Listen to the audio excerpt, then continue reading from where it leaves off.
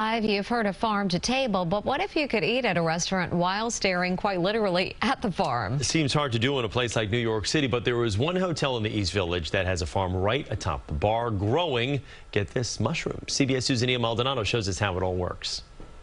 Inside the Standard Hotel in the East Village, you'll find something pretty unique, the city's only hotel mushroom farm. They grow so easily inside, and they are also like easily grown in smaller spaces too.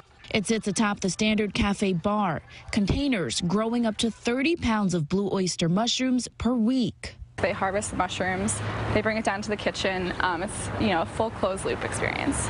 Executive chef David Gross says he's able to incorporate the farm to table method quite literally in his kitchen. A lot of hotels, and which is still super cool to do, may have you know rosemary and basil growing in the windowsills. I think doing mushrooms is just again, it's anything but standard. Pulling together dishes such as a mushroom farro bowl and a mushroom pate. We pick mushrooms, we saute them, we cook them down with shallots, confit garlic, uh, red wine, butter. Gross says the innovative menu pushes mushroom amateurs like myself to try something out of their comfort zone. I just break off some of the nice toasted bread. We take a nice little spread of the terrine, spread it on there, and we go for it. Would you like to give it a whirl? I'm excited. I did say I'm not the biggest fan of mushrooms, mm -hmm. but I'm excited to try. Cool. I am pleasantly surprised. It's awesome. Really good. I love it. Besides the uniqueness of the farm, there's also the environmental aspect, sparking a conversation about urban farming in New York City.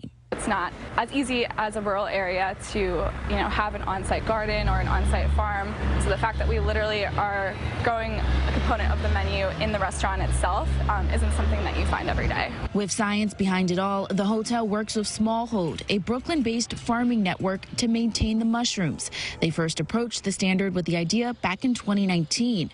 And with success among hotel guests and those simply coming in to dine, Gross says the sky's the limit when it comes to mushroom creations. There's never any time to stop figuring out what to do with them, for sure. From the East Village, Zinnia Maldonado, CBS 2 News. Well, if you're a fan of mushrooms, the Standard Hotel is hosting a number of different mushroom-themed events this weekend, including a class on how to grow your own mushrooms at home. Fascinating. You can find out more information on our website, cbsnewyork.com.